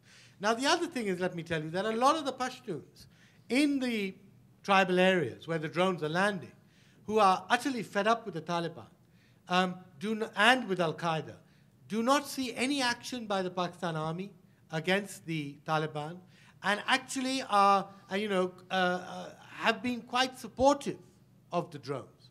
Now, this is not widespread, but certainly the local people, a lot of the local people who are not Taliban, um, and, a, and a, half the population in the tribal areas has actually fled because of the Taliban occupation of their uh, Al Qaeda Taliban occupation of their of their areas and their villages and all the rest of it. Um, a lot of them are quite supportive of this. And, and the reason being given by many Pakistanis is that, look, if the army is not willing to go in and knock out these, these Pakistani Taliban, Al Qaeda, these Afghan Taliban. And if the Americans are doing it through drones, well, let them, um, you know, at least somebody's doing it. But I agree that with the, the majority of Pakistanis are very much against the drones. And it is something that is certainly helping fuel anti Americanism in Pakistan. Um, now, you know, the answer to this is, is if, if the drones were to stop um, and the tribal areas were to return to being a, uh, you know, a free territory for the Afghan Taliban to operate in and Al Qaeda to operate in, um, obviously there would be far more American casualties in Afghanistan. Uh, and, and the American military is not going to allow that to happen. So, you know, it's a, it's, it's, it's, it's a very, it's a complicated um, uh, question. And I, I don't, you know, I genuinely, I would like to see the Pakistan army do more um, in rooting out Taliban uh, from this area and regaining control of these areas, which it has lost to the Taliban. Um, but unfortunately, that is not going to happen.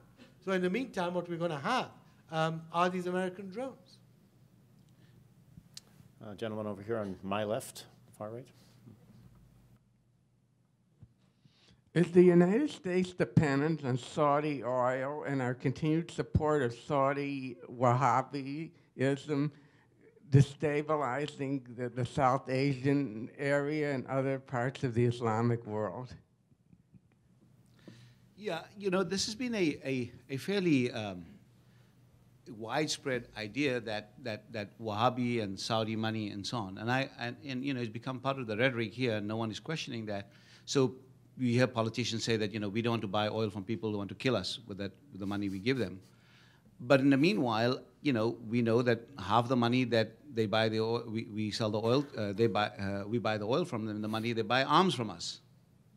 They're good customers. Uh, Saudi Arabia has an economy of uh, uh, imports $52 billion a year of goods. At least 50% that, of that comes from the United States. so it's a big importer. And the other question is the, the, the question of um, whether the Saudi money is funneled into establishing these madrasas in Pakistan. Now, uh, Ahmed uh, believes that it does, and it does in some aspects, or some of the madrasas and so on are supported, but not, wi- not widely. And secondly, I think that I think we're giving the Saudis and the Wahhabi doctrine too much credit. This, the, the, the militancy in Pakistan, the resentment, is fueled by politics you kill people, they're going to hate you. I mean, I mean, Al Qaeda, 17 Al Qaeda militants killed 2,000 people in New York. Look at the amount of hatred that it spawned out here. You don't think that happens on the other side? And I think that one of the interesting things is that Ahmed said that one of the questions that only dialogue with the, with the Afghan Taliban is going to lead to stability. I think that the cycle in Pakistan of you're going to kill the Pakistani Taliban, if there's not going to be negotiation out there, Pakistan is going to be further imperiled. I believe that Pakistan will have to find ways of creating a situation in which the temperature is tamped down and also uh, uh the temperature comes down and all, uh, tamped down, and furthermore, that you have dialogue with these extremist groups. Now, if they don't want to listen, then you have quite legitimate grounds to, to, to, to, to obliterate them militarily. But the question is here, we have such polarized perceptions. One, in some people's view, these people are true freedom fighters. In other people's view, they are complete terrorists. And these are, you know, because there's occupation happening on the other side, there's solidarity from the side. So it's, it's, there's a gray area here. It's not black and white. And so I think the simplistic interpretation that the Saudi money, Saudi Arabia hates Al Qaeda. They are killing more Al Qaeda people than Pakistani government can ever kill, or they're arresting so many people out there. But there is a certain amount of sympathy on the part of some Saudis for the political strategies of Al Qaeda. But I think the whole question about money, and there was a time in the 70s that a lot of money from Rabitat al-Alam al-Islami and kind of a, a government-sponsored uh, organization that gave a lot of money to all kinds of organizations around the world. And of course, uh, you know, the, it's, it's a kind of a dumb version of theology, a black and white version of theology, but uh, it's not widely accepted uh, in, in all parts of the country. So, uh, or in Pakistan or India, other places. I believe there's also some kind of influence of that in Central Asia, but I think it makes for a very neat copy. But I don't think it addresses the real questions of what mobilizes, what mobilizes the, the, the, the, the militancy um, uh, it's, it's, it's, not going to be, I, I, haven't seen the kind of evidence to support that. Uh, I saw the gentleman here, right, in the leather, yes. I see many hands, though. So. uh, a question to either party, whoever is best qualified to answer. Um, if uh, the Taliban gave up bin Laden back in 2001, what do you think the situation would be?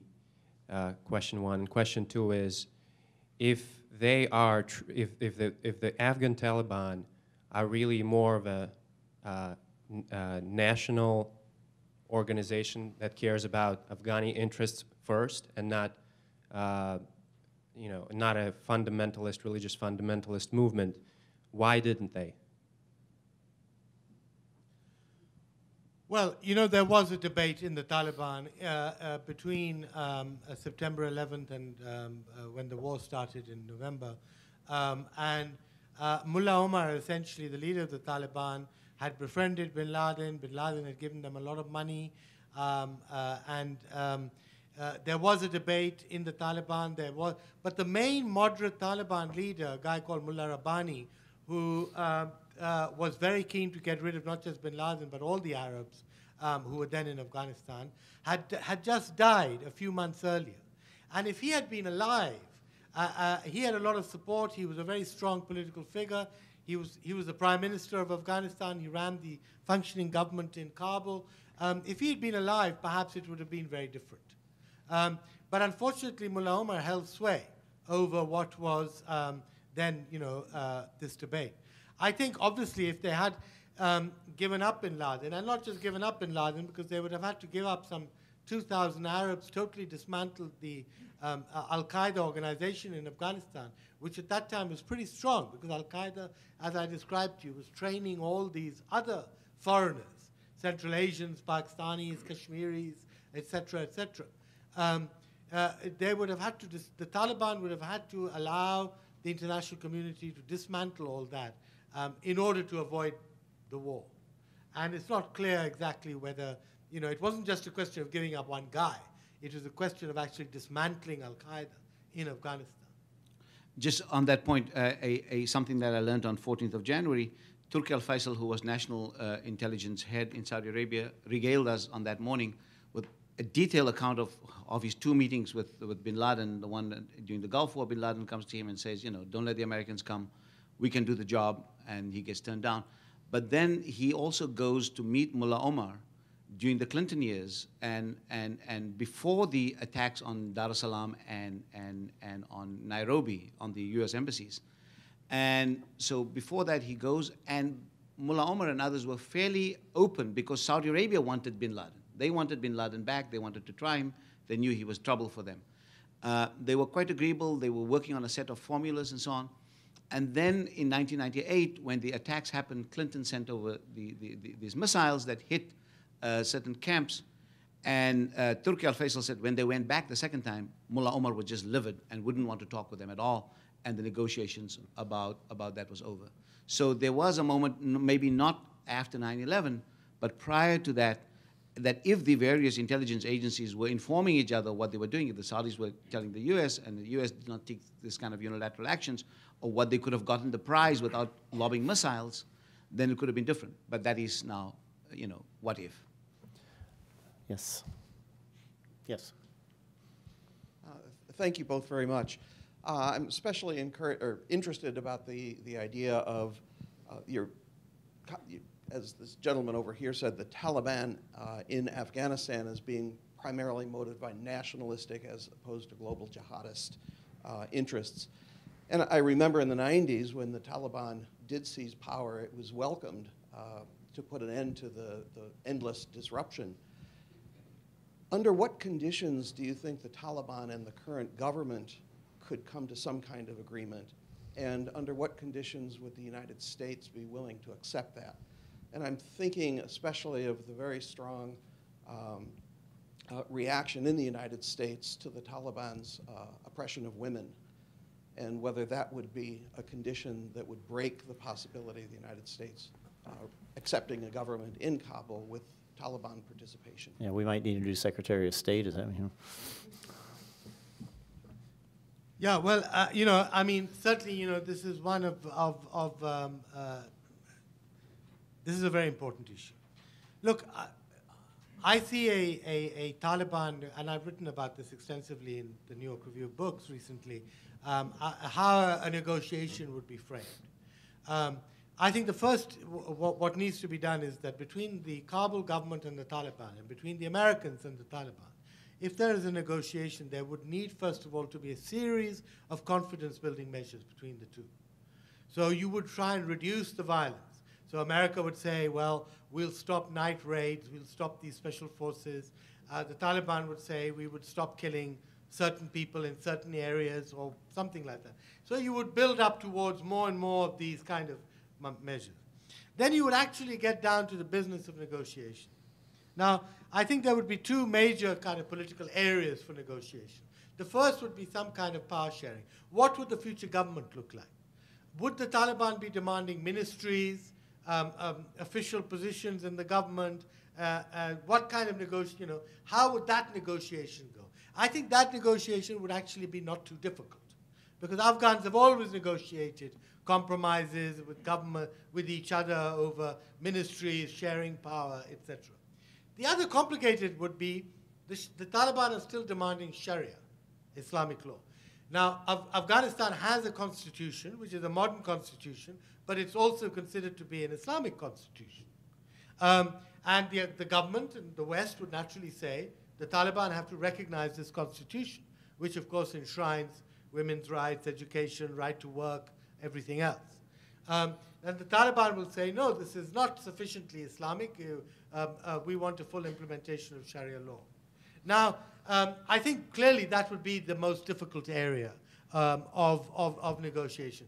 But I don't think it's impossible. For example, in almost all provinces, something that the Western media has not picked up on, but in the last six months, the Taliban have uh, commanders and governors. They have shadow governors in every province. They have actually allowed now, um, uh, um, you know, uh, girls to go to school. And they have said, we will not burn any more schools. And if anybody is burning the schools, it's not us, it is some other group that is burning the schools. And actually, there has been a huge reduction. Pakistani Taliban are burning schools in Pakistan. The Afghan Taliban are not burning schools anymore. So I think, and the other thing is, I think the role of women. Um, I, I, was in Kabul recently and I addressed a, a, large convocation of Afghan women. And I said, look, you have to be upfront about this. Karzai, you have to force yourself into the negotiating process. The Taliban have to be confronted with the new Afghan woman. Remember that Afghan women are now in the workforce. You know, 60% of teachers and health workers are women. Um, and that's been an incredibly positive, you know, uh, development in the last 11 years. Now, oh, th these women have a voice, and these are, these, are Afga these are kinds of Afghan women who the Taliban have never confronted before. They've never seen an Afghan woman without head covering, who's a doctor, who's a nurse, or who's a teacher or a university professor. And they need to be, so Af Afghan women need to be on the negotiating team with the Af Now, that's why the Americans are needed, why the UN is needed, why the West, because Karzai is not going to do these things on his own. He's, he's going to have to be pressured to do these things. You know, you need women on the negotiating team. You need women to confront, the, to sit on the table opposite the Taliban. So, um, you know, I think these things are possible because I think in the, in the broad, you know, the Taliban are really now, I think they're, they, they are, um, they've taken enormous casualties. They're very tired of the war and fighting. They're fed up with being manipulated in Pakistan by the Pakistanis. And, and, and, and most importantly, I think what the Taliban realized is that if they were to seize power again, they would fail in six months. Because obviously aid would stop, money would stop, all cooperation would stop. They would be totally alienated. And they would lose the Afghan population completely. And the Taliban leadership recognizes. And they realize that it's much more, let's go into partnership with someone like Karzai, who would keep the, the fire burning, who would keep the aid coming, who would keep the, you know, the money coming in. It's a, we, we, if we were on our own, you know, we would be finished in six months. The Afghan people would turn against us. So I, think I think, you know, there's a lot of scope. I mean, you know, you, you negotiated with the Vietnamese for seven years or, or six years, I can't remember. Um, uh, and, and even then, I mean, you know, but so you can imagine that this negotiation is not going to be easy. It's going to take a long time. And the quicker you start, the better it'll be. Yes, lady here. Yes. Mm -hmm. Um, this is for Professor Moosa. And I wanted to ask if you could sort of go back and discuss really the crisis of religious authority where, you know, Saudi accountants and Egyptian surgeons can claim for themselves a religious authority where they, in classical Islamic theory, would not have had that authority. So if you could sort of just discuss this vis-a-vis classical Islamic theories of just war and jihad, yeah. so to speak. And you know how they're able to sort of, I mean, they would say it's because Muslims don't have anybody who would defend them, etc. But if you could elaborate on that. Yeah. And uh, because if I remember, right after 9/11, we talked about sort of the Al Qaeda agenda, which it seemed to me was a perfectly political agenda. There wasn't any clause in there that said we want to convert Bush and Cheney to Islam. Uh, you know, it was Israel, bases, occupation. So it was a political agenda. I didn't see any religious agenda on that, um, the document that they put out, which was discussed widely after 9-11. The second question is for Mr. Rashid, is um, sort of on that note, you discussed this global jihadist agenda. I mean, and this decentralization of Al-Qaeda after 9-11, are you suggesting now that they've sort of mutated into something that no longer has a real political agenda? I mean, you know, these random bombings in Sweden and Denmark, and they can't possibly thinking they want to bring Sharia to Denmark. I mean, sort of, if you could discuss sort of what, what that mutation is, if, the, if it indeed is true and it's still not just a political agenda motivated true by religion, but against what they may see as uh, Western occupations, et cetera, et cetera. I mean, I, am not going to address your second question, but I, I think that, I mean, what could really demoralize Al Qaeda is if those kind of movements that are happening in Tunisia and other places really catch on fire and really develop into stable situations, then Al Qaeda can be rendered redundant. And I think the legitimacy to out to root out Al Qaeda can be increased within Muslim communities. But you need to see some kind of success story first. But I think your question about religious authority, I mean, it's, it's, a, it's, a, it's a long story, but I'll try and do it, abbreviate it. I mean, I think for, for much of the 19th and 20th century, traditional religious authority has been losing the game in understanding the world. So while we have a lot of credibility with people who have all the kind of paraphernalia of what of what Islam should look like, you know, regulation beards, certain kinds of clothing, talking the kind of language of, uh, you know, because they are traditionalists, they have the authority, um, they've been losing ground gradually as Muslim societies have been modernizing. And they have not been able to keep up with the pace of providing an interpretation of Islam that squares with the new social realities. What has emerged side by side with that is a kind of reformist Islam that have asked people that yes, in Islam there is no ecclesia, there is no church. Every individual can do the work and understanding religion. You just require, and ijtihad is open, is, is, is, a, is a right to interpret, and to uh, uh, every individual has that, and said you can read the Quran for yourself. So Muhammad Abduh Rashid Rida, the kind of Islamic modernizers and so on, said, told people, go and read the Quran for yourself. Um, Jamaat Islami, Muslim Brotherhood, all those organizations, for instance, said to people, read the Quran for yourself. Once people start reading the Quran for themselves, a different kind of empowerment takes place that basically is a very dangerous kind of empowerment because you're taking a 7th century document and you're telling a doctor to read it, or you're asking an engineer to read it. And they read it through a positivistic lens and they're trying to do read it as an engineering manual or read it as a medical manual. And now they're trying to find Islamic medicine and trying to find Islamic engineering and trying Islamic everything, which is not the history of Islam. Muslims were great engineers, but they didn't read the Quran to become great engineers. Muslims became great physicians. They never read the Quran to become physicians in the history. But now you have bizarre stuff of people finding Quranic medicine and finding, you know, finding the, the jinn to, in order to create, create energy and electricity at a conference that was held in Islamabad uh, 15 years ago. And you have this kind of bizarre stuff. So what has happened is that this kind of, so you don't have good authority because this authority is becoming anachronistic. You have this kind of new emerging reformist authority, and that is the product that gives you the Muslim Brotherhood. It gives you the kind of what I call dial, uh, you know, one eight hundred dial a verse of Quran, kind of kind of thing that people want to take one verse and they believe that they can understand the whole of Islam. And so that's what we have. So therefore, you have the Bin Ladens and the Zawahiris who've come to the fore because they have a much more powerful religio-political rhetoric that answers some of the grievances that people have, but it's not the solution, but it's basically just giving them the kind of uh, what I would call kind of band-aid solutions, but really is not the solution, and really further made it more complex. And what is now happening in different parts of the world is that the traditionalists are now capitulating to this kind of hmm. what I would call very, very kind of crude uh, uh, uh, reformers agenda. You get, you get fairly sophisticated reformers agendas and you get crude ones.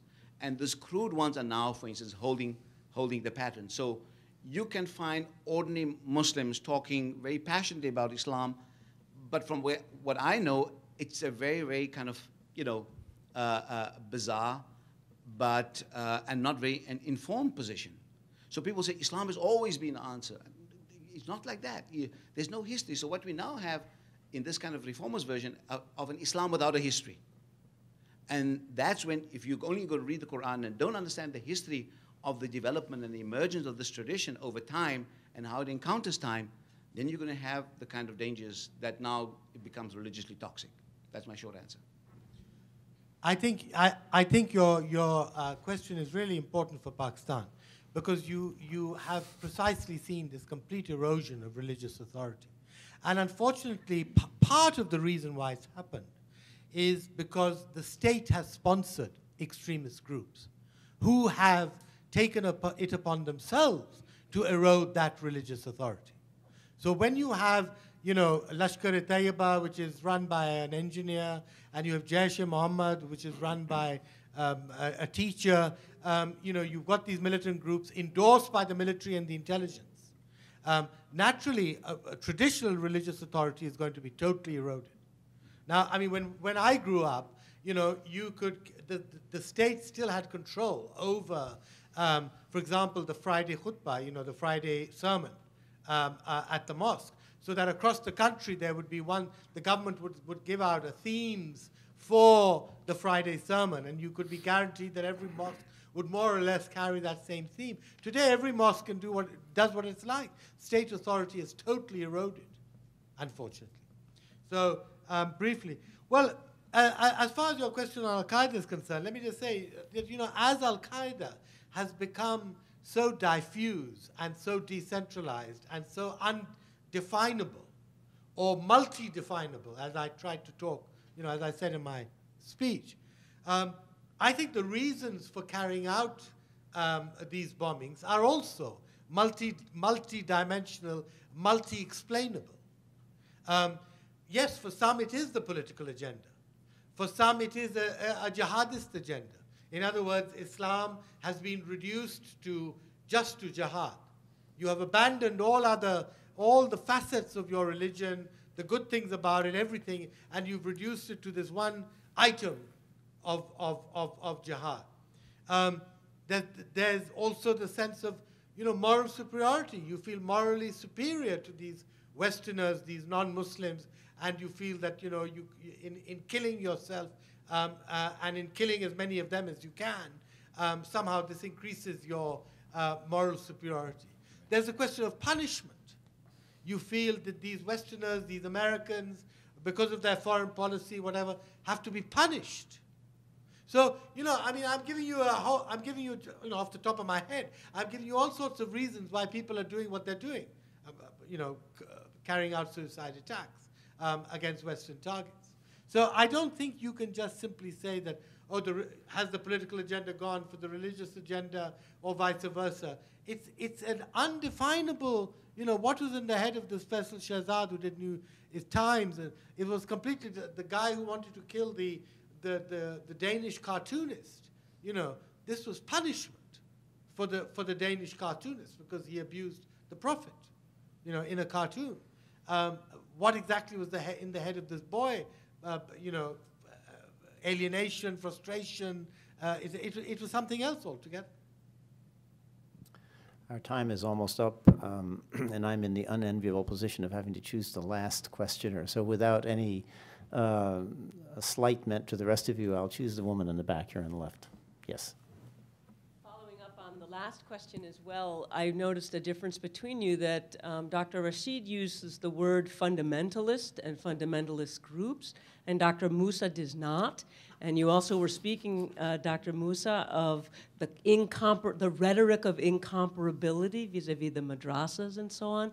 So I'd love to know do you use the term, and if so, why or why not? And how important is the naming process in the ways in which we both analyze the phenomena that we're studying and um, then uh, seek uh, possible dialogue with those who are named in certain ways? Well, I read a lot of uh, uh, uh Mr. Rashid's uh, pieces, reading very closely in the New York Review of Books and elsewhere. Uh, but but I don't think he's been in my seminar. So uh, uh, uh so we, we, can have a long conversation about this question of fundamentalism. I think the, the, the I think fundamentalism is, is, a is a quick term to explain, but it means a lot of things in different places, and therefore I try to avoid the use, and I rather try to explain the phenomenon. Okay, uh, because it has one kind of ring in the United States where it was kind of biblical inerrancy and understanding the Bible and so on. And, and that term was just used after 1979, what happened in Iran, and so, suddenly has become now a kind of a, a scare term for, for liberal Americans, uh, maybe not so for conservative Americans. Uh, so I think that um, that is not exactly what is happening, but we're having comparable phenomenon of that kind of thing happening in, in different places. But you know, here, I mean, fundamentalism did not give rise to vast kind of levels of violence and what's the name in so what people call fundamentalism in different parts of the, uh, different parts of the Muslim world are really political, theological battles being fought out, given much more complex questions of dictatorship, foreign occupation, and those kinds of issues. So I prefer to describe the phenomenon and to give more accuracy to both the understanding of the issue, and because I think that the word fundamentalism hides more than what it explains. But it is a media term that, that sells well. Uh, and, and, you know, and, you know, and when you're writing a 800 word piece article, you're going to spend two paragraphs and trying to explain this fundamental from that one, the article is over. So, in some ways, but, but as we, this morning's workshop that I've come here for and Professor Rashid been talking about, is that we, we are also trying to nuance and relearn of how to educate our audiences. So we might have to find ways of talking about those issues in brief and, in, and, and also in terms of uh, sound bites that will be more informative. Yeah, I mean, uh, I, you know, I should be more careful in the way I, I, I, I use this terminology, but being a, a, journalist, I tend to be a bit slack on, on, on these issues. I'm not an academic. Um, but I, I, I, I define fundamentalists as, you know, fundamentalists are not terrorists. Fundamentalists are those who, you know, who believe in um, a, a fundamentalist interpretation of religion. Uh, Christian, Jewish, Muslim, whatever. And in the Muslim case, it invariably involves, you know, uh, uh, a desire for Sharia law, Sharia justice, etc., etc. Um, and I would use the word extremist for uh, the kind of extreme, you know, terrorist groups that I'm talking about, that I've been talking about. And I think, you know, um, and of course, you know, as a journalist, I have to use a shorthand, um, uh, a shorthand that, that generally people understand. Um, uh, and as you know, you, you, you can't define these terms in every single article you write. Uh, another way that uh, a Chicago University professor has defined fundamentalism is maximalism. In other words, where, where religion, uh, Bruce Lincoln writes that you know you have to you use religion uh, to do a maximum amount of social social functions, which in a modern society, where in societies where we begin to con conceptualize religion being in the realm of the private, and there's a kind of secular public and so on, uh, religion has a different role. Now, the question of religion in many Muslim societies, and we're going to see this happening in Egypt, and we're going to see this happening in Tunisia, the question of the place of religion in society has yet not been resolved. Whether religion has, I mean, the issue that's debated now in, Iran, uh, in, in Egypt, for instance, is in the constitution of Sharia being the central, central, the source of law, right? How, and, and some Copts are questioning that issue. Because that was done as a, as a sop to certain kind of religious groups in Egypt under, under Sadat, and when they amended the constitution to do that, uh, because the state wanted to out-Islamize its opponents. Uh, but what does that mean, and what's the interpretation of that? And in many Muslim societies, this thing of secular, religious, secular is a different kind. So uh, in America, secularism means that the state shall, uh, the government shall not legislate religion, uh, not legislate on the basis of religion. That's what it means. But American society is full of religion. Public discourse is full of religion uh, in Muslim societies, that bar of, legislate, of, of legislating on religion or using religious to inspire legislation, that is both valid and has been accepted, but also highly problematic because you're taking laws that are devised in different kind of societies. 1400 years later, you want to give it legislative force. It has tremendous amount of, of, of, of, of uh, uh, miscarriages of justice.